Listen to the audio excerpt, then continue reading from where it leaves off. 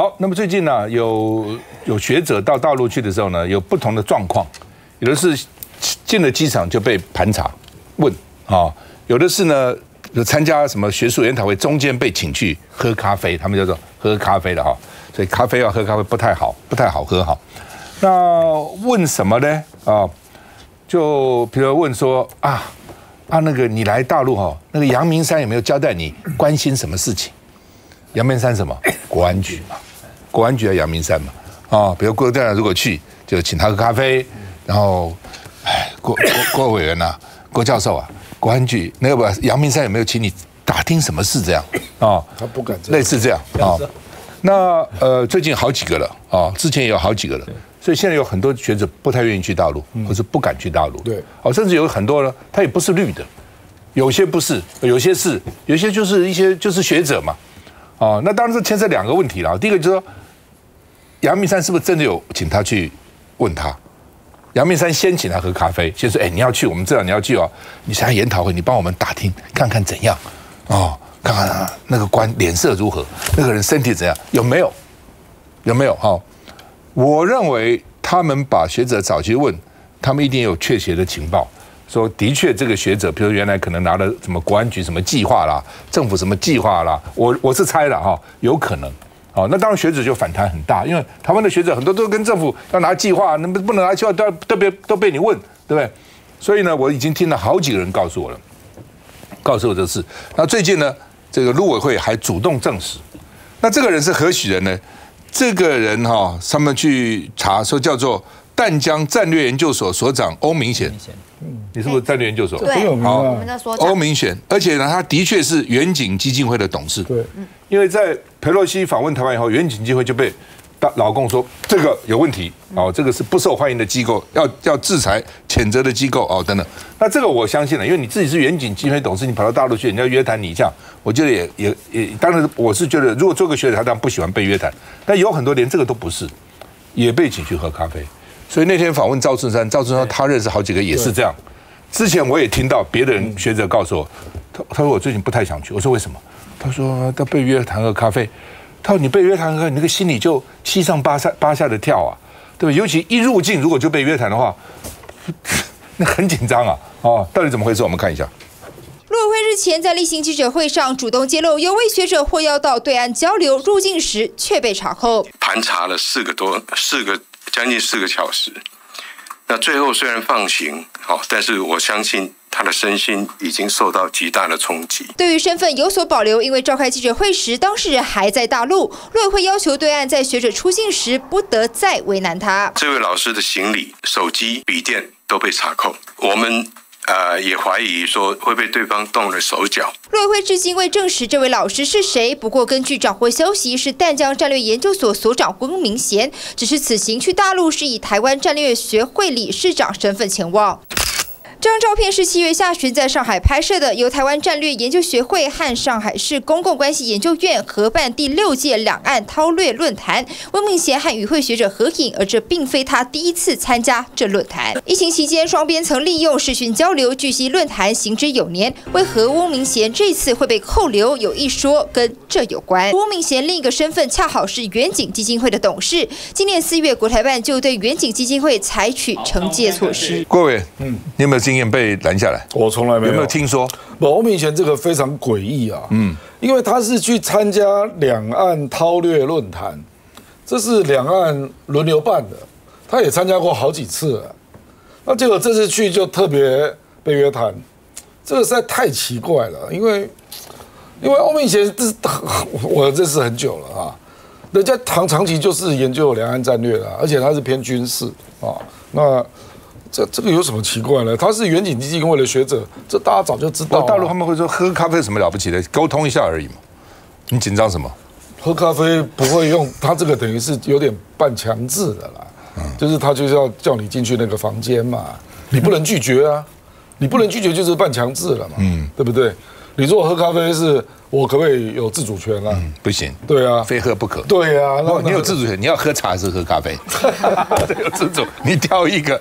老沈，你怎样被拘拘留置四小时干嘛？不是多年前在哪里？多年前我是受中央国台办台湾研究所的邀请哈去大陆，我在杭州机场落地，不能入境。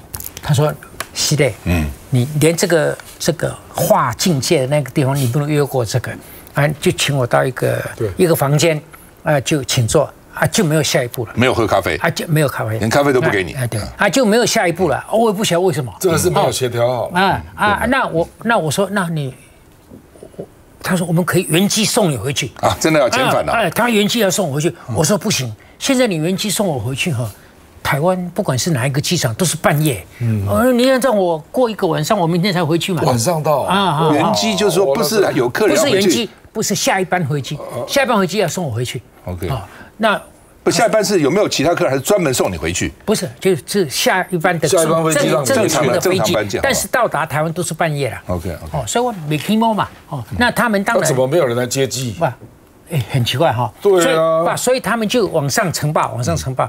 那显然是多线呈报。对所以哦，四小时下来哈，没有结论。我觉得好奇怪，怎么没结论？到底可以还是不可以？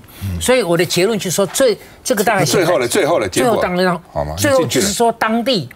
要主办单位来接机了啦，啊，但是他来接机也是因为上面说 OK 啦，哦，所以我是讲说，他不同的单位哦，好，不同的有学术单位有情报，大概每一条线的直线哈沟通不良，啊，还有横向也沟通不良，哎，我每次去香港也都被在挡在那边的，每三次以上哦，三次以上，所以我觉得老共的这种情治单位的作业哈，其实。不怎么不怎么行了，哦，还有哦，这这种小事就这样大举行动的这样查哦，我觉得也有伤他的的的名声。比比方说，你真的有有什么好紧张的？那我的态度是这样，你觉得他扣我四个小时，我很紧张吗？不会，我这个人就这样，我自己反省，我没什么事。那你竟然这样扣我，哈？道理在我这边的，你等着看吧，你等着看呐，你等我回台湾哦，你是干死啊！你这样讲，好，所以哦，这个。真的，你问心无愧。你后来回台湾也没有大闹啊，也没有讲啊，也没听到我现在骂你。不是，不是，他们一路啊，他们一路都对你很好，非常好，大概就补回来这样。好吧，我那我觉得，当当我心里头晓得说哦，这个这个哈，理亏在你啊，我就跟我就跟郭董一样，岁月千万年，孤王一样。好吧，这刚哥啊，那个大佬的，我可不可以问大佬一个问题？你问吧。你你在那边进不了，进不了这个，那你的行李手上，因为你没。带手机嘛？有被他收去检查吗？啊，不是都没有检查，没有。他你就是所以连入境都没有，没有大佬状况完全不一样。他他就要潜潜回去嘛。欧明贤所长是他的手机、通通被拿去看，笔电、行李都扣走，人在小房间。唯一一个落差就是媒体说四个，杜文说四个小时，他说只有三个半，那也很长。而且他是战略所的所长，嗯，大陆不可能不知道他知根知底，但还查他，嗯，他这个状况比我们想象中还严重啊。他不会是对啊，一定是一定是有什么有检举他或者对。主办单位归主办单位，机场归机场，各这个情治单位归情治单位，因为他不彼此也不协调，不什么。比如老沈随便举例讲，我们现已经在远景基金会，只要远景基金会就是黑名单，哦，那他你是董事嘛，你是黑名单，那来了我就就就就就要问你来干什么，对不对？他不管什么什么其他人邀他不不管。哦，那老陈也是，老陈已经在黑名单上，沈富雄。但是是他们邀请我懂我懂，邀请跟两回事嘛。对，就是你机场的上级单位有，我也可以邀请一个大陆人来，但是国安局可能他他有有名字在上面的。对不对？你进到机场可能就被盘查，这是有可能的。来，这个乔欣，你是这个战略所的研究生，怎么看？呃，我觉得这个事情确实变成是说，让呃民党，比如说陆委会，他开始去讲说，哎，所有人到大陆之前要做风险评估。其实他又是再一次把他这个跟选举的抗中保台放在一起了。呃，不要小看陆委会现在讲的话哦，因为台北市接下来上海的这个双城论坛，其实就是在八月底。好，八月底的时候就要去双城论坛了。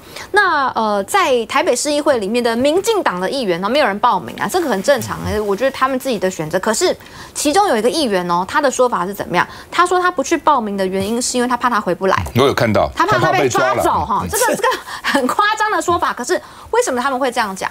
你看他的说法跟陆委会现在的说法其实差不多意思啊。他某种程度就在告诉台湾人民说，大陆很可怕，去的话可能会被抓走，可能会回不来。那当然，我们都希望学者可以去好好的交流，你也不要去查他的东西。那如果是远景基金会，那你认为说，因为远景基金会，所以你不让他进来，那其实你就讲清楚嘛。那他就像这个沈大佬一样。在机场那边，那就进不来，那就回去了哈。你就很明确的说，因为你是远景基金会的董事，那我们现在的呃这个已经说公布的很清楚了，是属于黑名单，那请你回去啊。这是你这个国家的做法，那其他人也只能尊重。可是他这次的状况是他去呃查扣了，就把盘查了哈，盘查了他的东西，那所以说就让呃包含陆委会他就。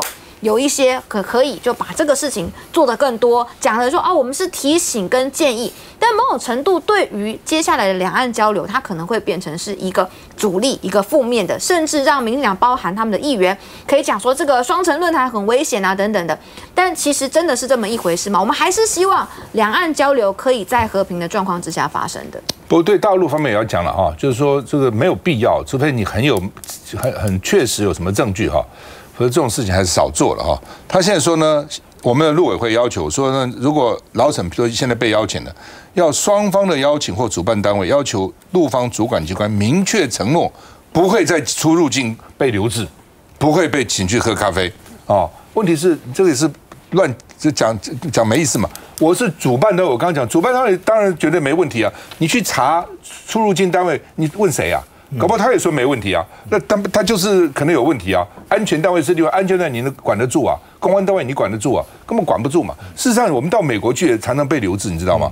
就有些人到美国去哦，哎，美国只要移民官就先假定你一定到美国就不回去，他受命就假定你到了美国就要留在美国不不走，看你有点奇怪哦，你带的钱多还是少？太多也不行，太少也不行哦，等等就把你抓到小房间，你收啊，全部给你收，你知道吗？哦，我一个朋友哈，这摔死了哈，因为美国规定一家不能带超过一万美金，哦，然后 他老婆英文大概有点紧张，哦，他明明带了六千美金，他讲 sixty thousand，six thousand 讲的 sixty，哦，sixty thousand 在哪里？把 他搞到小房间，搞了四五钟头，全身收，就不逼他，你的六万美金在哪里？我讲错了，我是六千，讲成六万。中国对那个数字常常会有的时候搞不太清楚，搞死啊，搞死他哈，真的是啊，搞死。